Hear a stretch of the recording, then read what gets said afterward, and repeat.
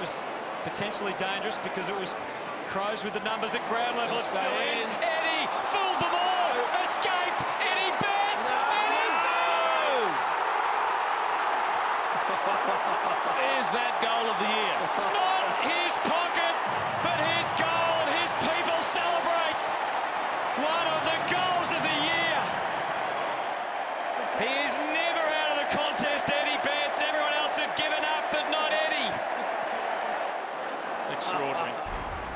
Douglas pumps it inside 50.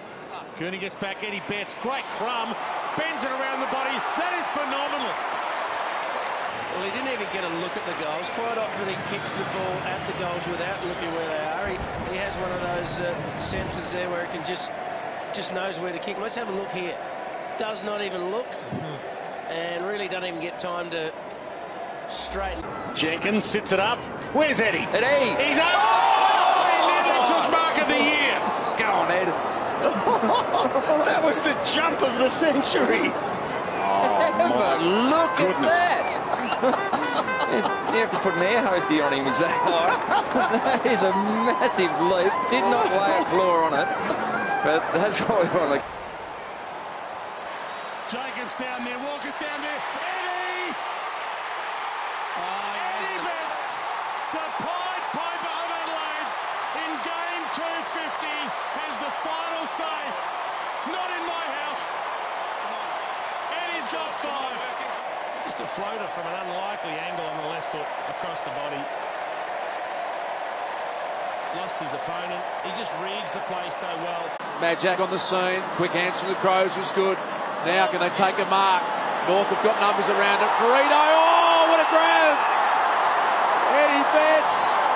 They're meant to be staying down and getting the crumbs, these blokes, does. Have a listen to the crowd. They love it when this man gets anywhere near the pill. 66 goal season. Make it 67. Almost on the quarter time siren. Big goal. Watch Boomer Harvey. He's the best at it. Dempster, ball floated on him a bit. Walker, good spin back and a delightful release handball to Eddie Betts. Sends it goalward. It's long.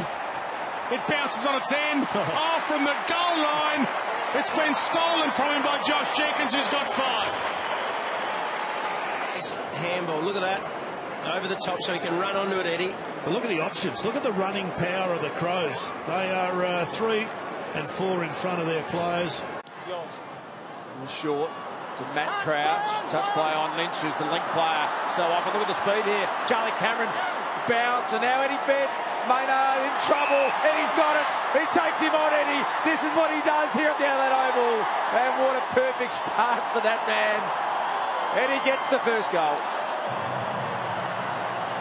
Great start for the Crows, and that is their specialty. One end of the ground to the other. They're the best at doing it from defensive 50 to forward 50. The opposition not being able to stop them or cut them off. And how many times do we see that?